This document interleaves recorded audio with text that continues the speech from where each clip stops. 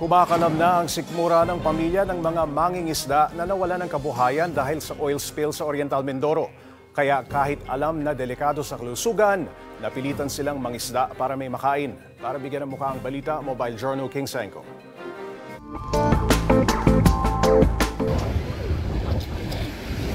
Hindi po sila mga bakasyonista dito sa beach na ito sa Nauhan, Oriental Mindoro. Sila ay ang mga mangingisda na walang trabaho ngayon dahil sa pagbabawal ng Coast Guard na mangisda kasunod ng oil spill dulot ng lumubog na MT Princess Empress. Sa ibang mga normal na araw mga paps, ang mga bangka na to hindi nyo makikita dito sa tabi ng ah, karagatan ano.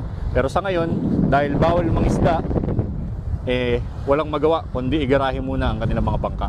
Pero dahil sa hirap ng buhay, may mga mangilan-ngilan pa rin ang sumusuway. Si Mang Liberato, naabutan kong nanghuhuli ng isda gamit ang improvised na pangawit na ito.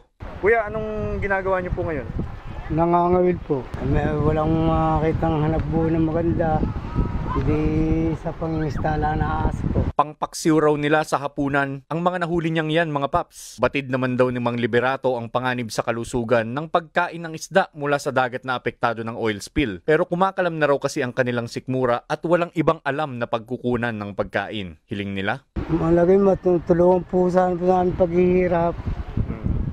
Na sa, sa Quezon po itong dinadanas po namin. Matulungan sa po kami ng gobyerno. Kahit pang ayuda po, gano'n. Ang ibang mangingisda naman, naisip ng maghanap ng ibang trabaho. Pag wala, wala na talaga, baka mapilitan na mag, maghanap ng pumunta sa ibang lugar. Napagsapalan sa paglaragat. Dito, talaga wala. Inaalat na ang kabuhayan ng mga taga rito sa Oriental Mindoro. Hiling lang nila makontrol ng tuluyan ang tumatagas na langis mula sa lumubog na MT Princess Empress.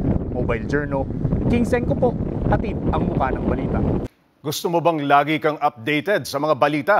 Aba, ay simple lang. Mag-subscribe ka na dito sa 1PH. I-click mo lang ang subscribe button at notification bell para hindi ka nahuhuli sa mga balitang dapat mong malaman.